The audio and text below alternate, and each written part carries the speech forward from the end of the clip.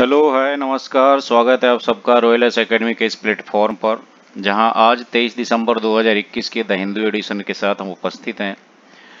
News analyse करने के लिए, उन सारे न्यूज़ आर्टिकल्स को जिससे आने वाले कंपटीशन में करेंट अफेयर से रिलेटेड क्वेश्चंस बनते हैं। आज का सबसे पहला आर्टिकल जो हाईलाइटेड है, वो है, Shakti bill six death sentence for rape ये शक्ति बिल महाराष्ट्र गवर्नमेंट लेकर के आई है। महाराष्ट्र गवर्नमेंट ने एक नया बिल पास किया है, इसका नाम है शक्ति बिल इस शक्ति बिल में ये प्रोविज़न है कि अब के बाद अगर यहाँ पर कोई रेप जैसे जघन्य अपराध को अंजाम देता है तो उसे हैंग किया जाएगा, उसे डेथ सेंटेंस दिया जाएगा। ऐसा नहीं है कि इसमें कोई गलत तरीके से किसी को फंसा सकता है। अगर मिस इन्फॉर्मेशन दिया जाएगा, अगर गलत इन्फॉर्मेशन दिया जाएगा, किसी को गलत तरीके से अगर फंसाया जाएगा तो उसका भी प्रावधान है कि गलत एफआईआर दर्ज करने वाले को मिनिमम एक साल की सजा और फाइन का प्रावधान है। So there are both sides in this bill Maharashtra India का फ़र्स्ट स्टेट बनने जा रहा है, जहाँ पे ये प्रोविज़न लाया गया है, ये बिल लाया गया है। देखते हैं नेक्स्ट आर्टिकल को। हीटेड विंटर सेशन कल कंक्लूड्स अ डे अर्ली हमें पता है कि पार्लियामेंट मिनिमम दो से तीन बार तो पूरे सीज़न में, एक साल में बैठता ही है। मैक्सिमम जो डिफरेंस है वो सिक्स मंथ का होता है इनके मीटिंग में। छह महीने से ज़्यादा का गैप नहीं होना चाहिए। ऐसे में जब बहुत सारे बिल पार्लियामेंट में पेंडिंग हैं और एक दिन पहले ही सेशन खत्म हो जाता है ऑब्वियसली ये कंसर्न का सब्जेक्ट है but they are there on master कोई उनको कुछ नहीं कर सकता दे हैव सम प्रिविलेज एक नज़र डालते हैं कुछ बिल्स पर, जो कुछ पास किए गए, कुछ पेंडिंग हैं और कुछ रिपील किए गए, इस विंटर सेशन में। फॉर्म लॉज रिपील किया गया, अभी हाल फ़िलहाल में पीएम ने खुद अनाउंस किया था। डैम सेफ्टी बिल पास किया गया। डैम सेफ्टी बिल ये वर्ल्ड बैंक स्पॉन्सर्ड बिल है। वर्ल्ड बैंक इसमें मॉनेटरी हेल्प करती है। जितने भी इंडिया में पुराने डैम हैं, उनको रिकंस्ट्रक्ट या उनको तोड़कर कहीं और अल्टरनेट जगह पे नया डैम बनाने का प्रोविज़न है। असिस्टेड रिप्रोडक्टिव टेक्नोलॉजी बिल 2021 इसे पास किया गया है। इसमें जो नए नए इंस्ट्रूमेंट्स हैं, जो रिप्रोडक्टिव रिप्रोडक्टिविटी में हेल्प करते हैं, उसके रेगुलेशन की बात कही गई है।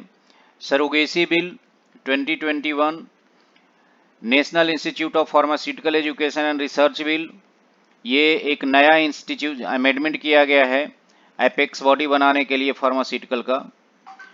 Appropriation bill 2021 high court and supreme court जज salaries and condition of service amendment bill 2021 जिसमें इनकी सैलरी को बढ़ाना है कंडीशन ऑफ़ सर्विसेज़ तय करना है। Delhi special police establishment act ये एक्चुअली 48 का बिल है 1948 का एक्ट है, जिसमें सीबीआई को एस्टेब्लिश किया गया था। Delhi special police establishment act से central vigilance commission bill 2021 narcotic drugs NPS इसमें भी अमेंडमेंट किया गया है सीबीएस में भी अमेंडमेंट किया गया है, उनके जो टर्म्स हैं चेयरमैन और मेंबर के, उसको कम किया गया है। इलेक्शन लॉज बिल 2021 ये इलेक्शन लॉज में जो बोगस वोटिंग की बात की जा रही है, इसे हटाने इसे हटाने के लिए आधार को वोटर आईडी कार्ड से लिंक करने के लिए कहा गया है। ये जो 11 बिल हैं, इसमें से एक फॉर्म लॉज तो रिपील हो गया है बट कितने फॉर्म लॉज थे, जो तीन थे, उनके नाम क्या हैं, ये इंपॉर्टेंट है आपके लिए। और ये ग्यारह बिल को आप एक बार गो थ्रू डिटेल में ज़रूर हो लें। यहाँ पर अगर हम इसे डिटेल में देखेंगे तो कम से कम दो से तीन घंटे चाहिए। तो आप इसे अल्टरनेट डेज़ में एक एक बिल करके टिल योर पेपर इन सारे की एक गुड अंडरस्टैंडिंग आप बना लें। ये इंपॉर्टेंट है, एक जगह पे आपको ये मिल गया है ग्यारह बिल आपके पेपर के लिए बहुत इंपॉर्टेंट है। नेक्स्ट आर्टिकल है united nation security council adopt resolution to ease Afghan assistance कुछ दिन पहले अभी ओआईसी ने ऑर्गेनाइजेशन ऑफ़ इस्लामिक कंट्रीज़ जिसके कि 57 मेंबर्स हैं, और ये खुद को इस्लामिक वर्ल्ड का चैंपियन मानता है, इन्होंने एक रिजोल्यूशन पास किया था कि हम यूनाइटेड नेशन से कहेंगे कि अफ़गानिस्तान को ऐड दिया जाए, अफ़गानिस्तान में जो सिचुएशन है उसे ईजी किया जाए। Finally united nation security council जिसका कि इंडिया अभी फिर से मेंबर बना है अगले दो साल के लिए। परमानेंट नहीं। सिक्योरिटी काउंसिल के परमानेंट पी फाइव आपको पता ही है। तो वो पी फाइव नहीं है ये। पी फाइव में कौन कौन आता है? एशिया से चाइना आ जाएगा और यूरोप एशिया से रसिया आ जाएगा यूके आ जाएगा, इधर आपका यूएसए आ जाएगा। ये सारे पी फाइव ग्रुप बनाते हैं। IT department search premises of Chinese mobile firms Oppo और जियोमी, ये चाइनीज़ मोबाइल फर्म्स हैं। आईटी डिपार्टमेंट को कुछ डाउट था कि सीडीसीएस टाइप की कुछ एक्टिविटी चल रही है इनके फॉर्म में। इनके जो ऑफिसेस हैं वहाँ पे तो आईटी डिपार्टमेंट ने सर्च किया है इनको। सीडीसीएस एक्ट के अंदर ये भी आते हैं, आईटी फर्म भी आते हैं। अभी आईटी एक्ट में अमेंडमेंट भी गवर्नमेंट ने किया था 2020 में। India gives one million dose to Myanmar पहले भी इंडिया ने जब फ़र्स्ट टाइम कोरोना का वेव चला था और इंडिया ने वैक्सीन तैयार किया था तो खुद से ज़्यादा दूसरे लोगों को यूज़ करने के लिए था। अफ्रीका तक हमने डोजेज भेजे थे। साउथ अमेरिका तक हमने भेजे थे। पाकिस्तान को छोड़कर सारे कंट्रीज़ ले गए थे हमसे। अभी बांग्लादेश ने चाइना के साथ एग्रीमेंट किया है। उसे इंडिया से नहीं, चाइना से चाहिए। तो क्वेश्चन इस टाइप से अगर आए कि इंडिया ने किस किस कंट्री को दिया है तो बांग्लादेश उसमें शामिल नहीं है फ़िलहाल। बढ़ते हैं अगले आर्टिकल की तरफ़। Women commandos to guard houses of Amit Shah and Gandhis. ये गांधीज में जो ट्रियो हैं अपने, सोनिया गांधी, राहुल गांधी, प्रियंका गांधी, ये सारे आ जाएँगे। अब ये एक इशू हो सकता है कि why women commandos be they feel safe Indira Gandhi को का जिसने, जिन लोगों ने असिस्नेट किया था, वो मेल कमांडोज थे, उनके खुद के बॉडीगार्ड थे। फीमेल कमांडोज में हो सकता है ये थोड़ा सेफ़ फील करते हो। ऐसा कोई कानून नहीं है कि वुमेन कमांडो ही प्लेस किया जाए या मेल कमांडो प्लेस प्लेस किया जाए जस्ट फॉर इंफॉर्मेशन बढ़ते हैं अगले आर्टिकल की तरफ़। C issues direction for a streamlining juvenile justice delivery system high court जिसका आर्टिकल 214 से शुरू होता है 240 नंबर से इसका आर्टिकल शुरू होता है हाई कोर्ट का इंडियन कॉन्स्टिट्यूशन में। ये हाई कोर्ट को पावर है 204 आर्टिकल 14 आर्टिकल कहता है कि there will be high court in every state और for more than one state और यूनियन टेरिटरीज। और आज भी कई ऐसे हाई कोर्ट हैं जो एक से ज़्यादा स्टेट और यूटी के लिए काम कर रहे हैं। जैसे महाराष्ट्र का हाई कोर्ट हो, आसाम का हाई कोर्ट हो, इन सबके पास एक से ज़्यादा स्टेट या यूनियन टेरिटरी का ऑथोरिटी है। फ़िलहाल जो डायरेक्शन दिया गया है, वो जुवेनाइल जस्टिस सिस्टम को इम्प्रूव करने के लिए गाइडलाइन दिया गया है। हाईकोर्ट ने कहा है कि जो रिहेबिलेशन प्लान है जुवेनाइल को जब सजा होती है, जुवेनाइल बोर्ड भेजा जाता है, जुवेनाइल के जेल में भेजा जाता है उन्हें। जेल तो नहीं कहेंगे, आप उसे रिहेबिलिटेशन सेंटर कह सकते हैं, जहाँ उन्हें सुधारा जाता है, उनके बिहेवियर को अमेंड किया जाता है। तो उसमें कुछ चेंज की बात कही गई है। हाईकोर्ट ने इस पे ऑर्डर दिए हैं। ये अमेंडमेंट रिहेबिलिटेशन के लिए कुछ टर्म्स हैं, जैसे individual care plan and rehabilitation card of children in conflict with law by JJB इन दोनों पर हाई कोर्ट ने फोकस करने के लिए कहा है, इसे रिव्यू करने के लिए कहा है।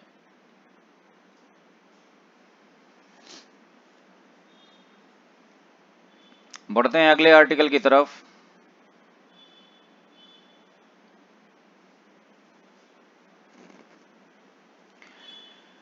डिफरेंट डिफरेंट गवर्नमेंट प्रोहिबिशन अब शुरू कर रही है।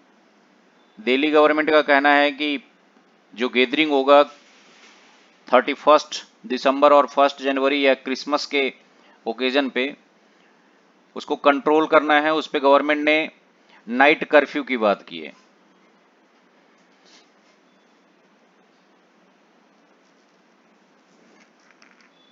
देखते हैं नेक्स्ट न्यूज़ आर्टिकल को। हाई कोर्ट में एक पिल डाला गया है फेक एनकाउंटर के लिए। हाई कोर्ट में कोई भी पिल डाल सकता है। प्रोवाइडेड प्रॉपर रीजन आपके पास हो। High court once again article 214 देखते हैं नेक्स्ट आर्टिकल को। Debate on anti conversion bill today हाल ही में कर्नाटका ने एंटी कन्वर्जन बिल पास किया है, जो बहुत स्ट्रिक्ट है। और ये बिल पास होते ही वहाँ पे जो क्रिश्चियन कम्युनिटी के लोग हैं, वो सड़क पे उतर आए हैं, क्योंकि सबसे ज़्यादा खतरा उन्हीं के पॉपुलेशन को है। जब कन्वर्ट होगा नहीं तो उनका पॉपुलेशन तो बढ़ेगा नहीं। उनका जो जाल है, वो अब फैलने से रोक दिया गया है कर्नाटका में। कर्नाटका ही नहीं, बहुत सारे ऐसे स्टेट हैं, जैसे यूपी हो गया एमपी हो गया, हरियाणा है आसाम है हिमाचल प्रदेश है उत्तराखंड है। इनफैक्ट महाराष्ट्र है, इन सारे स्टेट ने एंटी कन्वर्जन बिल लाए हुए हैं। देखते हैं नेक्स्ट आर्टिकल को।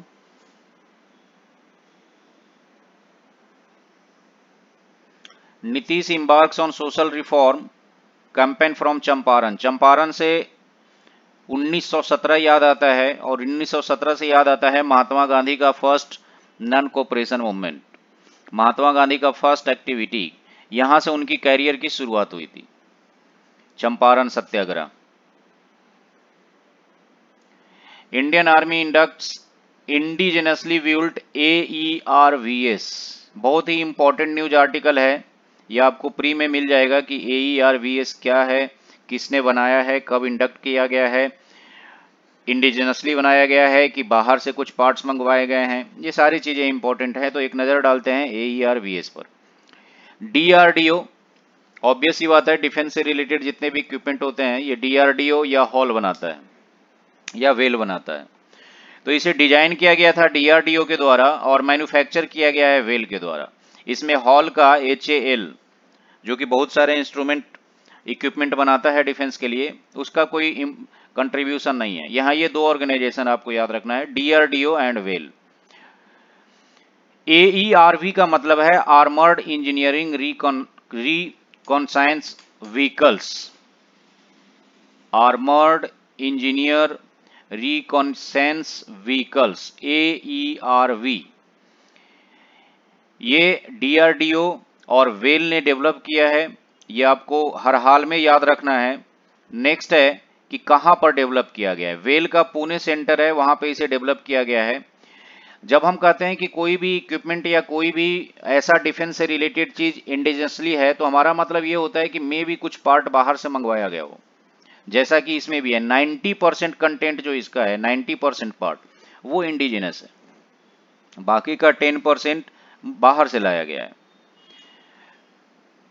सो so, वेल का कहना है एईआरवी e के बारे में कि AERV is capable of measuring soil bearing capacity on river banks to determine if they are motorable ये सेंसर बेस्ड व्हीकल है आर्मी के लिए, जिसमें ये नदी के किनारे जो सॉइल होता है वेट सॉइल होता है, उसके कंटेंट को मेजर करके, उसमें वाटर उसकी वाटर कैपेसिटी को मेजर करके ये बता सकता है कि क्या वहाँ पे ये चलाया जा सकता है या नहीं चलाया जा सकता है। For military vehicles on go no go basis critical parameters for bridge laying dry and wet gaps in day and night condition slopes and height of river banks and canals तो ये कहाँ कहाँ यूज़ होगा? अब आप सोचें कि किसी रिवर के ऊपर ब्रिज बनाना है। तो वहाँ जाना पड़ेगा किसी को। वहाँ जाने पे ये भी हो सकता है कि जो वहाँ पे सॉइल है वो नीचे धस जाए। तो उसमें जान का खतरा हो सकता है। सो so, पर्सन में ना जा करके पर्सनली ना जा करके इस व्हीकल को भेजा जा सकता है और ये व्हीकल फिर वहाँ से सर्वे करके रिकॉर्ड लेकर के आएगा कि if it is fit to move there और not so this is A E R V बढ़ते हैं एडिटोरियल की तरफ़। एडिटोरियल में फ़र्स्ट है सुहासनी हैदर का as a regional leader not a victim of circumstance इन्होंने इंडियन नेबरहुड में चल रहे जो प्रॉब्लम्स हैं, उसकी तरफ़ इन्होंने इशारा किया है। जैसे म्यांमार हो गया मिलिट्री कूप वहाँ चल रहा है पिछले साल से। तो इनका कहना है कि एक जो बिग ब्रदर का इमेज है इंडिया का, अपने नेबरिंग कंट्रीज़ में, उसे इंडिया को फॉलो करना चाहिए, उसे निभाना चाहिए। नॉट ओनली म्यांमार ही, नेपाल में भी कॉन्स्टिट्यूशनल प्रॉब्लम्स चल रहे हैं, श्रीलंका में भी कॉन्स्टिट्यूशनल अमेंडमेंट लाया गया था, जिसके चलते प्रॉब्लम चल रहा है। भूटान के साथ बहुत अच्छे संबंध नहीं है अभी। तो इन सब की तरफ़ इनका इशारा है फॉरेन अफेयर के लिए फॉरेन रिलेशन के लिए आपको एक आर्टिकल मिल जाएगा, एक बार आप गो थ्रू हो सकते हैं इससे। द हिंदू का जो खुद का एडिटोरियल है, उसमें टाइटल डाला गया है वार्निंग वेल्स ऑब्वियसली ये ओमिक्रॉन के बारे में है, कि ऐसा नहीं हो कि पहले जैसा हालात हो जाए, जब फ़र्स्ट टाइम वेव आया था कोरोना का, और लोग ऑक्सीजन के लिए बेड के लिए, इन सब चीज़ों के लिए भाग रहे थे। तो ये एक वार्निंग दिया गया है द हिंदू की तरफ़ से। आप चाहें तो गो थ्रू हो सकते हैं, कुछ डाटा मिल जाएगा आपको। जैसे आप यहाँ देखिए, यहाँ लिखा है कि टेस्ट पॉजिटिविटी ऑफ़ 10 परसेंट और more in the last week और बेड ऑक्यूपेंसी क्रॉसिंग 40 परसेंट और more on the oxygen supported और आईसीयू अगर 10 परसेंट से ज़्यादा लोग पॉजिटिव टेस्ट करते हैं या 40 परसेंट से ज़्यादा ज़्यादा लोग आईसीयू में हैं तो गवर्नमेंट के लिए ये एक वार्निंग है। गवर्नमेंट को विजिलेंट होना पड़ेगा। ऐसे बहुत सारी डाटा आपको मिल जाएँगे, एक आइडिया मिल जाएगा आपको। बढ़ते हैं अगले आर्टिकल की तरफ़। Why the electoral reforms bill is a problem ये against Aadhaar linking with voter ID card के लिए लिखा गया है। गवर्नमेंट ने बिल पास किया है, जिसमें आधार को वोटर आईडी कार्ड से लिंक करना है, जिससे कि वोगस वोटिंग जो बाहर से आ जाते हैं, जैसे बांग्लादेशी माइग्रेंट हैं, म्यांमार के लोग हैं, या ऐसे तमाम लोग जो इंडियन सिटीजन नहीं हैं, या ऐसे भी लोग जो इंडियन सिटीजन हैं, लेकिन एक से ज़्यादा जगह उन्होंने वोटर आईडी कार्ड बना रखे हैं। तो ये वोगस वोटिंग में आता है। तो वो तमाम लोग इसका विरोध कर रहे हैं, जिनका वोट बैंक बोगस वोटिंग है। ट्रबल्ड वाटर पिछले कुछ दिनों से श्रीलंका लगातार इंडियन फिशरमैन को अरेस्ट कर रहा है। वहाँ पे एक, जो पाक स्ट्रेट है, जो इंडिया और श्रीलंका को वर्चुअली अलग करता है ओशियन में तो उस इलाके में पिछले कुछ दिनों से टेंशन बना हुआ है। ये आर्टिकल उस पर है। गवर्नमेंट को एडवाइस दिया गया है कि किस तरीके से इस चीज़ को सॉर्ट आउट किया जा सकता है। आप एक बार गो थ्रू बोलें। Looking beyond the forest right act very important article forest right act tribals के लिए बात की जाएगी। जो फॉरेस्ट के अंदर रहते हैं फॉरेस्ट के विसिनिटी में रहते हैं। फॉरेस्ट राइट एक्ट एक एक्सप्लोसिव इशू है। इसमें जो लेटेस्ट ये एक्ट लाया गया था, ये 2006 में लाया गया था। 2006 आपको ईयर भी याद रखना है।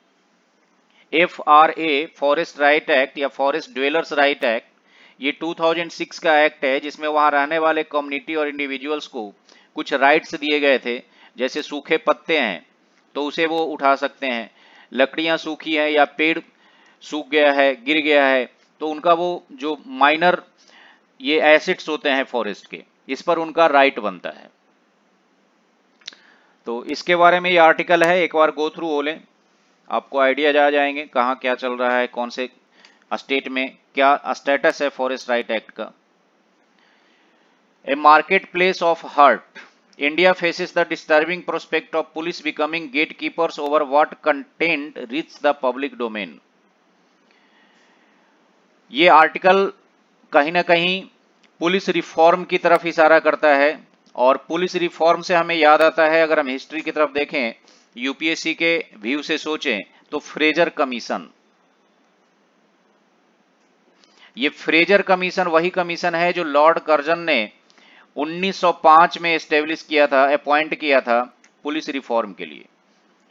बाद में भी ये इशू चलता रहा है और बहुत, ये भी एक हाईलाइटेड इशू है इंडिया का, पुलिस रिफॉर्म मस्ट कहा जाता है इंडिया में, क्योंकि जब से ब्रिटिश यहाँ से गए हैं, तब से ना तो आईपीसी में कोई चेंज आया है और ना ही सीआरपीसी में कोई चेंज आया है। जस का तस है, जबकि बहुत सारे सरकमस्टांसेस चेंज हो गए हैं सिचुएशन चेंज हो गया है पॉपुलेशन चेंज हो गया है रहने का पैटर्न चेंज हो गया है क्राइम का नेचर चेंज हो गया है। So police reform is must undoubtedly ये आपके मेंस के लिए आर्टिकल हो सकता है। आर्कटिक इन डिस्ट्रेस आर्कटिक से हमें याद आता है हिमाद्री जो कि इंडिया का रिसर्च स्टेशन है, जैसे मैत्री अंटार्कटिक में है। और हाल ही में अंटार्कटिका के लिए एक एक्सपेडिशन भेजा था इंडिया ने 41 मेंबर का आफ्टर 41 ईयर फ़िलहाल यहाँ पे जिस रीजन को हाईलाइट किया गया है, वो है आर्कटिक नॉर्थ पोल आर्कटिक ऐसा कहा जा रहा है कि वहाँ ग्लेशियर्स मेल्ट हो रहे हैं तो बहुत सारे जो पोलर रीजन के कंट्री है, वो तो डूब जाएँगे। ओशियन का जो लेवल है वो बढ़ जाएगा। मीन्स नुकसान के अलावा कोई एडवांटेज नहीं मिलने वाला है आइस मेल्ट होने से। आर्कटिक एक ट्रीटी भी है। इंडिया इसका मेंबर नहीं है। आर्कटिक ट्रीटी के मेंबर वो लोग होते हैं जो वहाँ आसपास के कंट्रीज़ हैं, जैसे रसिया हो गया, नॉर्वे हो गया। बट ऑब्जर्वर है। तो ये सारी चीज़ें याद रखनी है आपको। बढ़ते हैं अगले आर्टिकल की तरफ़। वाइस प्रेसिडेंट जो कि राज्यसभा में चेयरमैन के नाम से जाने जाते हैं, इन्होंने कंसर्न ज़ाहिर किया है कि इस बार राज्यसभा ने बहुत एक्सपेक्टेशन से विल्लो परफॉर्म किया है। ऑब्वियसली एक दिन पहले ही सेशन खत्म हो रहा है तो और कुछ उम्मीद तो नहीं की जा सकती है। राज्यसभा लोकसभा और संसद। ये इंडियन कॉन्स्टिट्यूशन में मेंशन है तीनों नाम और इसके लिए आर्टिकल्स हैं। मैं आपको कोड बता देता हूँ। आर्टिकल्स हैं 79, 80 और 81 79 कहता है कि संसद there will be parliament 79 is for संसद जिसे आप पार्लियामेंट कहते हैं। 80 इज़ फॉर राज्यसभा, जिसे आप अपर हाउस ऑफ़ पार्लियामेंट कहते हैं। This is Rajya Sabha. 81 is for Lok Sabha, जिसे आप लोअर हाउस ऑफ़ पार्लियामेंट कहते हैं। अब आप इसे याद कैसे रखेंगे? आप इसे यूँ याद रख सकते हैं just for qualifying the competition कि एक लेडी है जो आपके यहाँ काम करने आती है सुबह जो भी है वो सफ़ाई करने आती, जो भी, उसका नाम है सरला। तो ये जो सरला वाहन है, इनको आपको नौ सौ एक रुपये देने होते हैं हर महीने। ये नौ सौ एक रुपये लेकर के आपके यहाँ काम करती हैं। स फोर संसद, र फोर राज्यसभा, ल फोर लोकसभा। नौ सौ एक, seventy nine, eighty eighty one. आप इस तरीके से स्ट्रिक के माध्यम से संसद का प्रोविज़न, कॉन्स्टिट्यूशन के कौन से आर्टिकल में है, ये आप याद रख सकते हैं। फर्दर चेयरमैन और वाइस चेयरमैन चेयरमैन और वाइस डिप्टी चेयरमैन लोकसभा का स्पीकर और डिप्टी स्पीकर इन सब का भी आर्टिकल इंपॉर्टेंट है। एक बार गो थ्रू आपको होना चाहिए और ट्रिक बना करके ऐसे ही याद रख सकते हैं उसे। बढ़ते हैं अगले आर्टिकल की तरफ़। Change to marriage age will contradict other laws अभी गवर्नमेंट ने एक बिल लाया था जिसमें यह कहा गया है कि शादी की एज 18 से बढ़ा करके 21 कर दिया जाए। बहुत अच्छा एक्ट है अनडाउटली कल मैंने एक सर्वे दिया था, आपको एक ग्राफ दिया था जिसमें जितने भी वहाँ कंट्रीज़ थे यूरोपियन हो अमेरिकन हो, या एशियन और भी कंट्री हैं इनफैक्ट उज्बेकिस्तान टाइप का भी तजाकिस्तान टाइप का भी, यहाँ भी शादी की एज मिनिमम 22 साल से ऊपर है। तो अगर इंडिया में 21 किया जा रहा है तो कोई बुराई नहीं है। गर्ल्स को कैरियर के लिए थोड़ा और टाइम मिल जाएगा। इसमें कोई एविल नहीं है बट कुछ डेविल हैं हमारे यहाँ।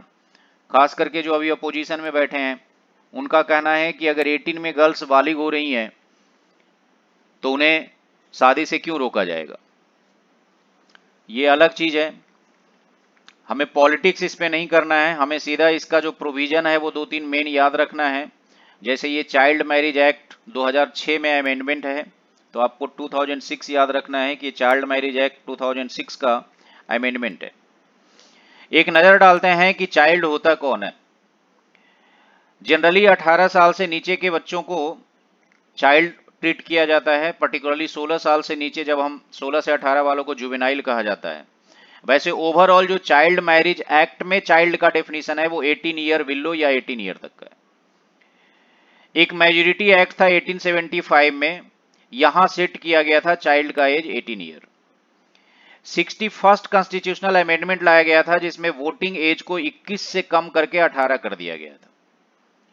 पोस्को एक्ट 2012 और जुवेनाइल जस्टिस एक्ट जिसे आज हाई कोर्ट ने, एक high court, Delhi high court ने कहा है कि थोड़ा इसका जो रिहेबिलिटेशन का प्रोविज़न है, उसमें थोड़ा सुधार लाओ। तो पोस्को एक्ट और जुवेनाइल जस्टिस एक्ट जो कि 2012 और 2015 में आया है, ये भी चाइल्ड को अंडर 18 डिफाइन करता है। राइट टू एजुकेशन एक्ट जो कि 2002 में पास हुआ था, लेकिन सात साल लग गए आने में 2009 में फाइनली आया, ये चाइल्ड को सिक्स और फोर्टीन ईयर के बीच डिफाइन करता है। कहने का मतलब है कि राइट टू एजुकेशन को छोड़कर, बाकी के जितने भी चाइल्ड से रिलेटेड या मैरिज से रिलेटेड या वोटिंग राइट से रिलेटेड एक्ट हैं, सब चाइल्ड को विलो 18 ईयर डिफाइन करते हैं। बट राइट टू एजुकेशन जो कि 6 साल तक गवर्नमेंट की ड्यूटी है बच्चों को पढ़ाना और 6 से 14 साल तक बच्चों का फंडामेंटल राइट है और फंडामेंटल ड्यूटी है उसके पेरेंट का जो कि ग्यारहवा ग्यारहवा फंडामेंटल ड्यूटी बना था कॉन्स्टिट्यूशन में अमेंडमेंट ला करके यहाँ पर चाइल्ड को सिक्स टू 14 के बीच में डिफाइन किया गया है।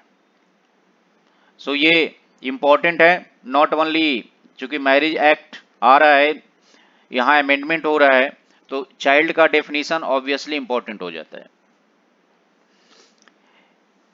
बढ़ते हैं अगले आर्टिकल की तरफ़।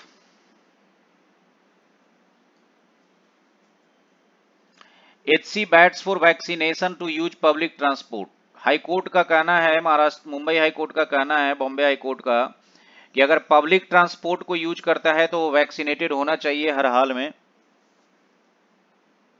ये सही कहा गया है, लेकिन वैक्सीनेशन फिर उतना ही इजिली अवेलेबल भी होना चाहिए।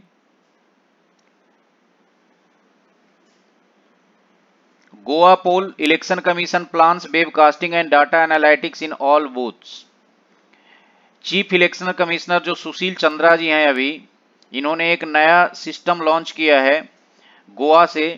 गोवा में जो पोल होने वाला है, वहाँ पर डाटा एनालिटिक और वेबकास्टिंग बूथ पे ही स्टार्ट हो जाएगा। तो ये इंपॉर्टेंट है, पूछा जा सकता है कि फ़र्स्ट टाइम ये डाटा एनालिटिक्स कहाँ पे शुरू किया गया?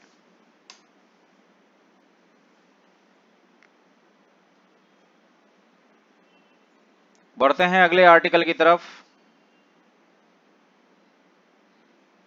Market linked tariff for PPP port projects PPP का मतलब क्या होता है? पब्लिक प्राइवेट पार्टनरशिप जिसपे कि गवर्नमेंट खूब ज़ोर देती है एलपीजी के बाद। एलपीजी एक इकोनॉमिक रिफॉर्म है 1991 के बाद का, जिसमें पीपीपी पर काफ़ी ज़ोर दिया गया है। यहाँ पर उसी से रिलेटेड ये आर्टिकल है कि इस पीपीपी को अगर market linked tariff, market link का मतलब होता है कि change as per the market rules, current rules. यहाँ पोर्ट प्रोजेक्ट के लिए ये पीपीपी की बात की गई है। बढ़ते हैं अगले आर्टिकल की तरफ़। S C ask insurance firm if it has a conscience Supreme Court वैसे तो कोर्ट ऑफ़ द लैंड है, law of the land decide करता है ये, कॉन्स्टिट्यूशन में क्या सही है, क्या गलत है इंटरप्रेट करता है सही तरीके से, कॉन्स्टिट्यूशन से आर्टिकल को, और स्ट्रिक्टली लॉ को फॉलो करता है। बट आज ये स्टेटमेंट आया है सुप्रीम कोर्ट ने इंश्योरेंस से पूछा है कि कुछ अंतरात्मा भी तुम्हारी कहती है कि नहीं? या लॉ को केवल तुम करते रहोगे? ये केस एक ऐसे कपल से है जिसने अपने ब्रेड विनर बेटे को लॉस ब्रेड विनर बेटे को खो दिया था। तो वो कपल वहाँ कोर्ट पहुँचा है तो कोर्ट ने इंश्योरेंस कंपनी को बोला है कि तुम कंपेंसेशन दो। हर हमेशा लॉ को मत देखो, थोड़ा अंतरात्मा को भी सुनो कनसाइंस जिसको बोलते हैं आप। बढ़ते हैं अगले आर्टिकल की तरफ़। China endorses Hong Kong election ये हांगकांग इस ईयर में काफ़ी हाईलाइटेड रहा है तो इसका पोजीशन चाइना के कौन से पार्ट में है ये? इसका स्टेटस क्या है? जैसे अमेरिका जैसे कंट्रीज़ को कंट्री मानते हैं और हमेशा प्रोवोक करता है हांगकांग को आगे बढ़ने के लिए। कुछ दिन पहले, कुछ महीने पहले खूब सारा वहाँ पे मूवमेंट चल रहा था हांगकांग में। अब चाइना ने खुद ही इंडोर्स कर लिया इलेक्शन को कि ठीक है, चलो हांगकांग में इलेक्शन करवाते हैं, ताकि इंटरनेशनल प्रेशर ना पड़े।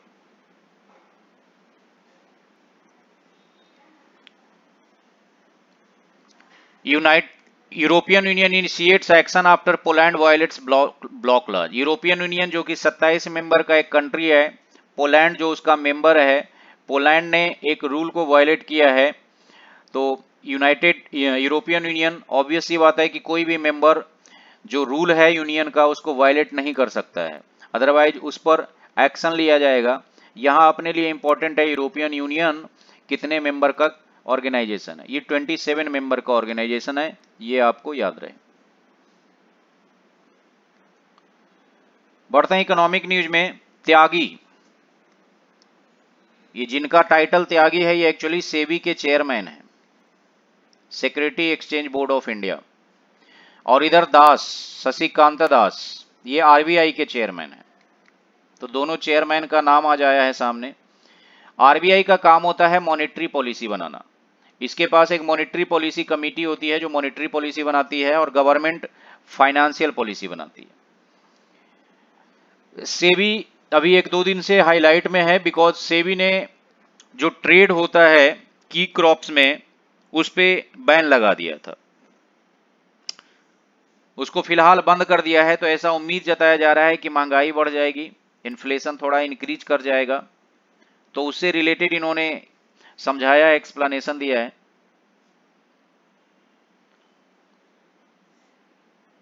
बढ़ते हैं अगले आर्टिकल की तरफ़।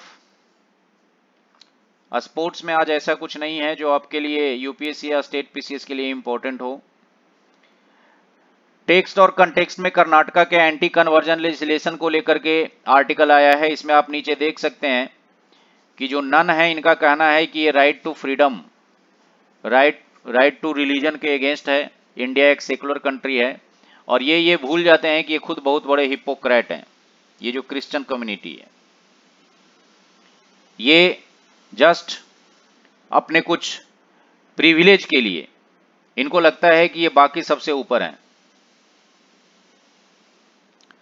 दूसरा आर्टिकल आया है, ये भी इंपॉर्टेंट है, समझाया गया है कि suspension of future trade in agri products जो सेबी ने की क्रॉप में ट्रेडिंग बैन किया है, उसका क्या इफ़ेक्ट पड़ेगा?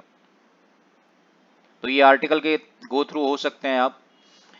एक आर्टिकल आया है कीवर्ड में द हार्म प्रिंसिपल इसमें जेएस मिल जो कि बहुत बड़े फिलोसफर माने जाते हैं जेएस मिल का एक प्रिंसिपल है हार्म प्रिंसिपल जिसमें वो कहते हैं कि लिबर्टी तब तक किसी का कंटेंट नहीं किया जा सकता ऑथोरिटी किसी को लिबर्टी को नहीं रोक चेक कर सकती, जब तक कि एक पर्सन का लिबर्टी दूसरे की लिबर्टी के लिए हानिकारक हो। That is called harm principle अगर किसी पर्सन का लिबर्टी किसी दूसरे के लिए हार्मफुल है देन ऑथोरिटी वहाँ पे चेक इन कर सकती है।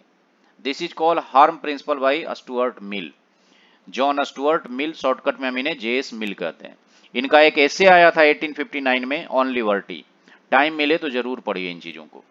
बहुत काम आएगा आपको यूपीएससी के प्रिपरेशन में। सो so, आज के न्यूज़ आर्टिकल में इतना ही। मिलते हैं कल नेक्स्ट न्यूज़ आर्टिकल के साथ।